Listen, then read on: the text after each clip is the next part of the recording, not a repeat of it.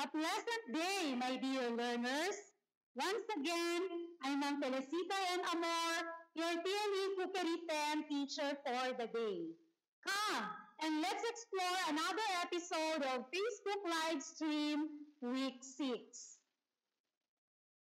Our lesson for today will focus on prepare and cook seafood dishes with the topic perform mise en place.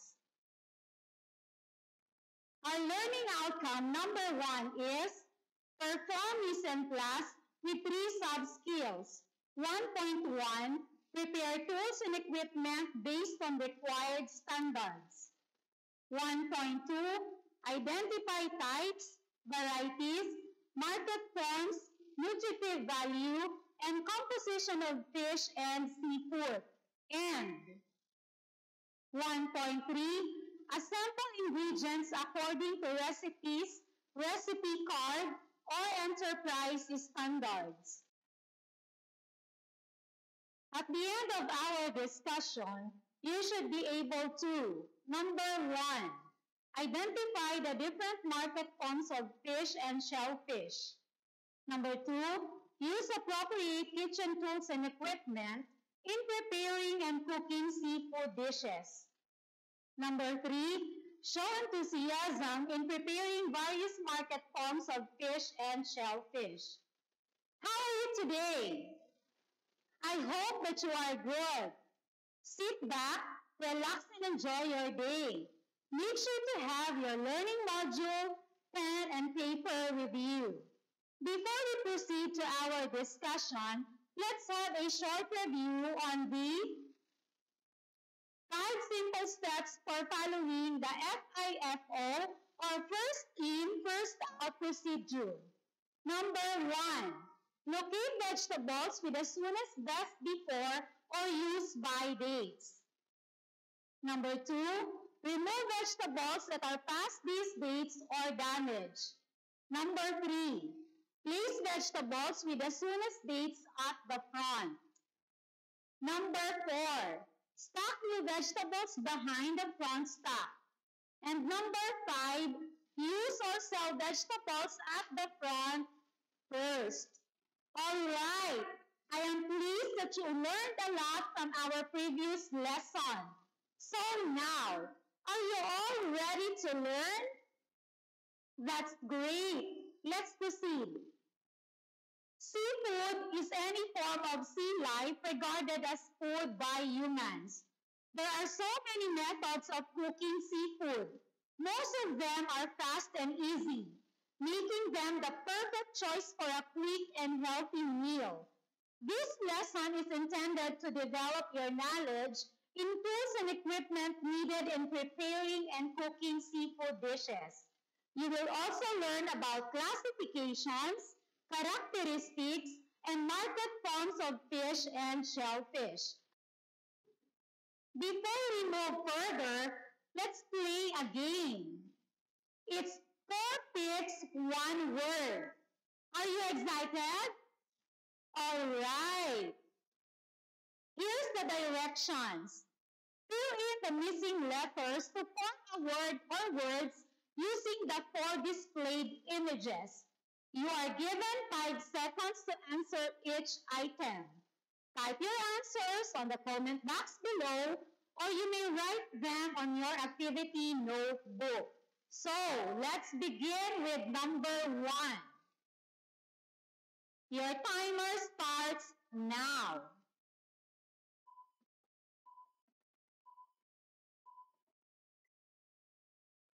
If your answer is seafood pork, then you are correct. Next. Number two for five seconds.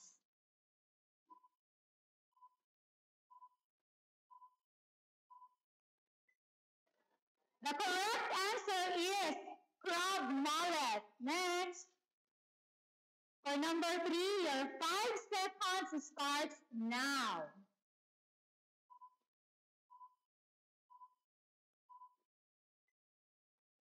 If your answer is fish skillet, that's correct. Good job. Next. For number four, for 5 seconds.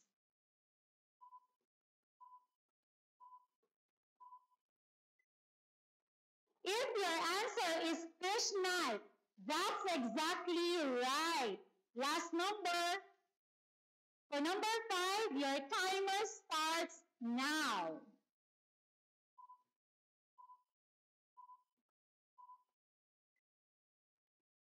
If your answer is oyster knife, then you are correct. Thank you so much, my dear students, for your active involvement. Good job. To start our lesson, what's the difference between tool and equipment? A tool can be any item, especially one held in the hand, used to carry out a particular function, while equipment is most commonly refers to a set of tools that are used to achieve a particular objective. Different jobs require different kinds of equipment. Some kitchen tools and equipment used in preparing and cooking seafoods are the following. Number one, fish turner. It has a long, flexible head that can slide under delicate fish without breaking it. It is also called fish spatula or flipper. Number two, fish knife. It is a long, narrow blade knife that is used to cut neatly between skin and meat. It is used for dressing, serving, and eating fish. Number three, seafood fork.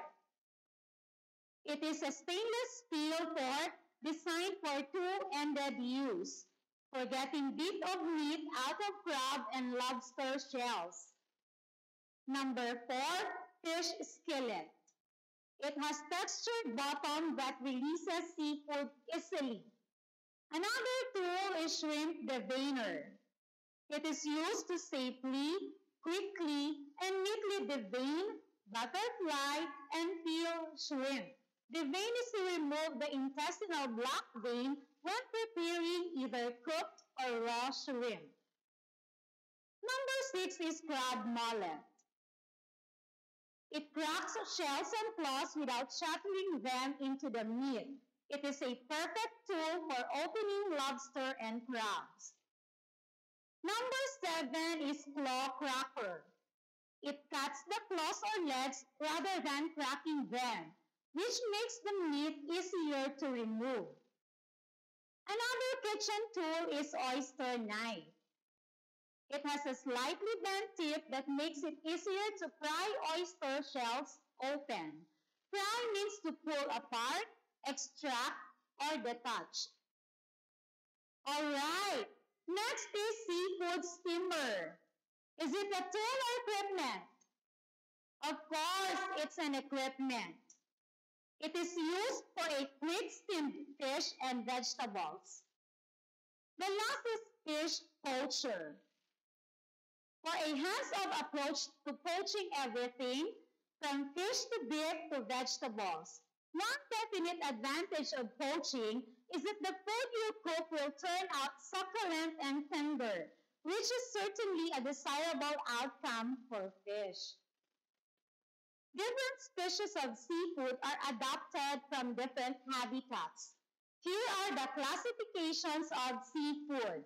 Number one, finfish, and number two, shellfish. Finfish are fish with fins and internal skeletons. Letter A, saltwater fish.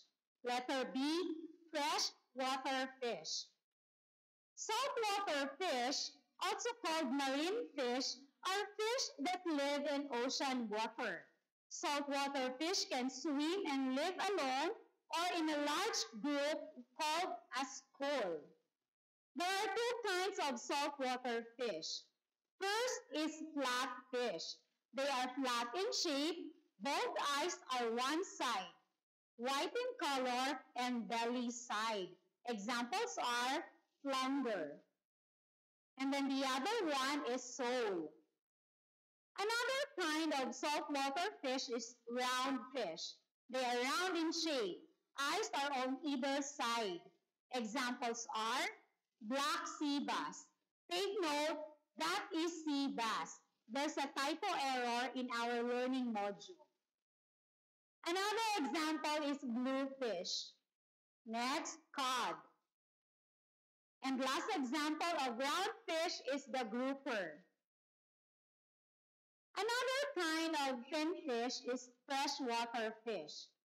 Freshwater fish are those that spend some or all of their lives in fresh water, such as rivers and lakes, with a salinity of less than 1.05%. These environments differ from marine conditions in many ways, the most obvious being the difference in levels of salinity. Examples are catfish or hito in Filipino. Another example is eel. Last of freshwater fish is tilapia. Another classification of seafood is shellfish. They are fish with external shells but no internal bone structure. They have hard outer shells. Categories are mollusks and crustaceans. Mollusks are salt sea animals. These are shellfish with hard, inedible shells. We have three kinds of mollusks. First is bivalves. They have a pair of hinged shells. Examples are oyster, Another bivalve's examples are clams. Clams are a very nutritious whole food with a host of health benefits. They are a lean source of protein, are rich in minerals, vitamins, and omega-3 fatty acids. They have been found to possess cancer-preventing properties. Another kind of mollusk is univalves. They have a single shell comprises snails or slugs from salt water or fresh water. Example is abalone. And the last kind of mollusk is cephalopods. They have no outer shells, but just a single internal shell called a pen. Examples are octopus and krill. The second category of shellfish is crustaceans. These are sea animals with segmented shells and jointed legs. They have shells that act as shield. They turn coral red in color when cooked, which is much desirable for shellfish. Examples are shrimps, crabs, also lobsters and prawns. Here is the external anatomy of fish. Focus on the body shape of the fish, the head, and the fins. Body shape. Generally, fish are torpedo shaped with rounded nose, a thicker middle, and tapered tail. Fish with round bodies are good swimmers. Fish with shorter bodies can turn quickly. Head. The fish has its mouth, nostrils, and gill cover. The gills allow the fish to breathe. It supplies the fish with oxygen. Keep that in mind. Scales. It is a protective covering of fish that prevents injury or disease and also indicates age. It protects the fish from its environment. Lateral line. It helps the fish detect vibration, sensors, and helps them to find food and to navigate to avoid predators. See how amazing God is to design such creatures. Fins help the fish swim especially with the balance and turning. It may also serve as protection against predators. Each fin on a fish is designed to perform specific function. For example, dorsal fin Ventral fin and anal fin are for stability in swimming. Pectoral fin allows fish to dive and stay in one spot. Pelvic fin helps the fish to move up, down, and turn. Tail fin helps the fish to propel. And caudal fin is the main propelling fin. Are you enjoying the lesson? That's great. Now to continue, fish and shellfish contain high quality protein and other essential nutrients and are important part of a healthy diet. In fact, a well-balanced diet that includes a variety of fish and shellfish can contribute to heart health and aids in children's proper growth and development. Fish has very little connective tissues. It means, number one, fish cooks very quickly even at low heat. Number two, fish is naturally tender. High heat will result in toughening of protein. Three, most heat methods are used not to create tenderness, but to preserve moistness and provide variety. Number four, cooked fish must be handled very carefully. Also, keep in mind that there are types of fish. Number one, fat fish. Those that are high in fat. They have a fat content between 10 to 25 percent. Examples are salmon. Another is tuna. The other one is mackerel and trout. Another type is fish. They are fish that are low in fat.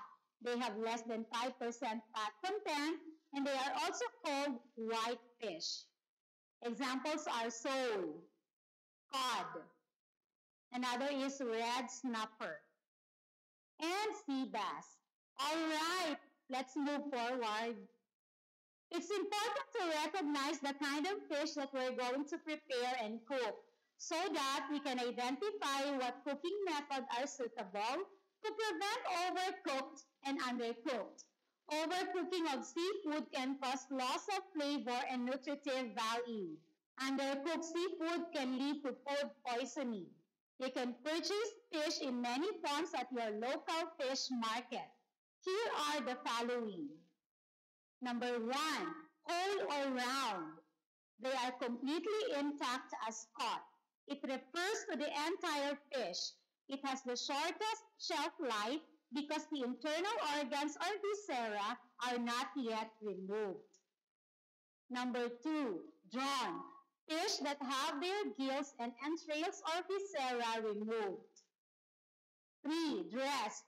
Viscera, scales, head, tail, and fins removed. Number four, steaks cross-section slices, each containing a section of backbone. Number 5, fillets, boneless side of fish with or without skin. Fillet is a French word meaning a thread or strip. Number 6, butterfly fillets. Both sides of fish still joined but with bones removed. I believe this one also is your favorite. Am I right? Okay. Our very own daing is one of the favorite delectable Filipino seafood dish in the country. Number seven, sticks or tranches, cross-section slices of fillets. They are small, leftover pieces of fish that are pressed together to form fish sticks. Knowing how you choose fresh seafood such as shellfish is an important skill in cookery. Unless you have caught the seafood yourself, you really have no way of knowing exactly how fresh it is. But buying fresh seafood is easy if you know what to look for.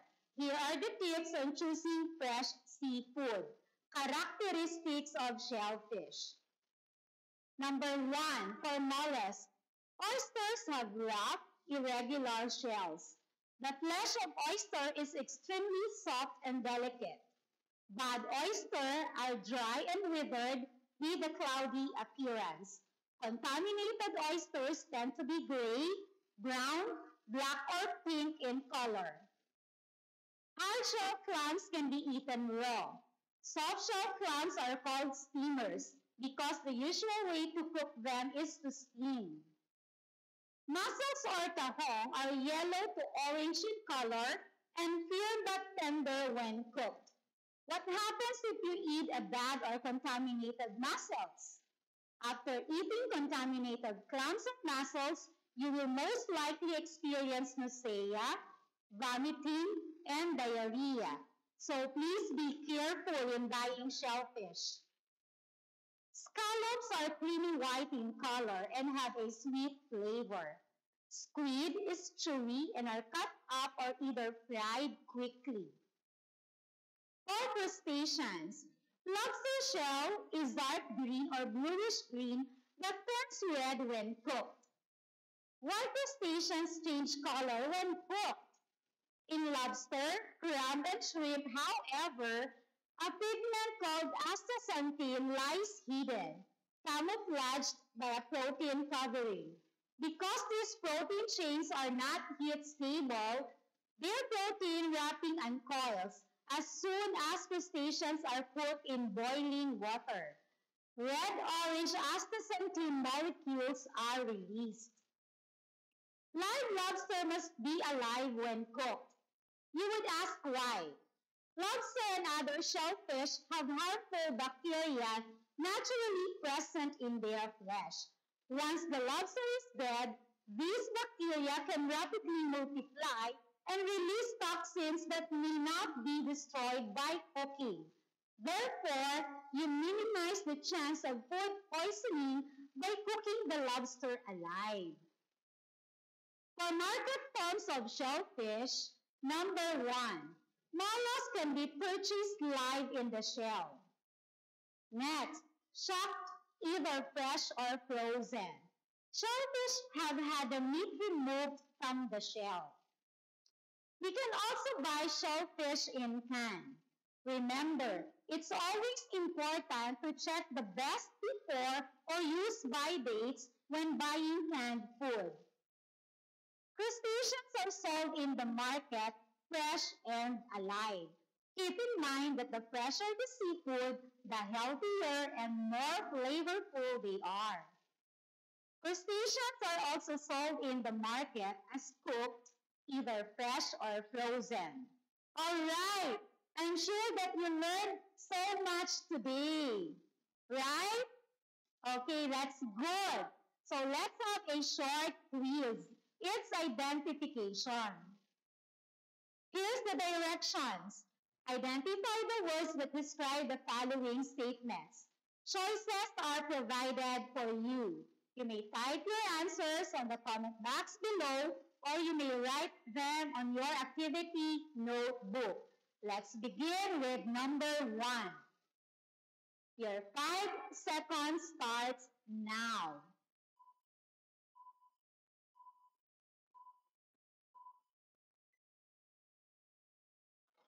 If your answer is Feliz, then you get it right. For number two, your timer starts now.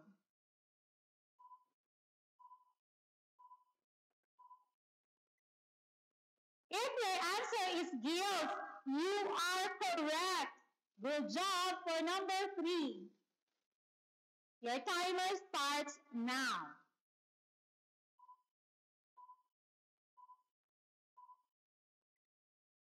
If your answer is Maras, then you are correct. For number four, your timer starts now.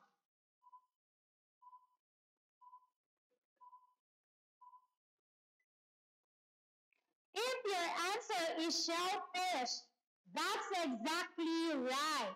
Last, number five, your timer starts now.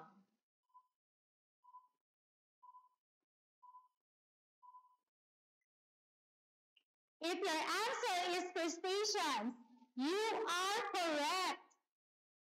Well done, my dear students. I hope you enjoyed a lot. And now, to sum today's learnings, I would like you to complete these statements. I know, I apply, I share. I'll give you mine. I know the different market forms of seafood. I apply the proper use of kitchen tools and equipment in preparing and cooking seafoods. I share the importance of preparing various market forms of seafood to my family. For your assignment, enumerate the different ways in checking freshness of fish and shellfish. Again, don't forget to coordinate with your respective teachers for more information and guidance. To end this day's session, I would like to leave you our verse of the day from Corinthians chapter 16, verse 14, which says, Do everything in love. Again, according to our dear Senator Win Gatchalian, sa ating pagtutulungan, may pagpapatuloy ang ligtas at dekalidad na edukasyon para sa kabataang Pilipino. Once again, I'm ang Felicita and Amor. Thank you. Goodbye and God bless us all.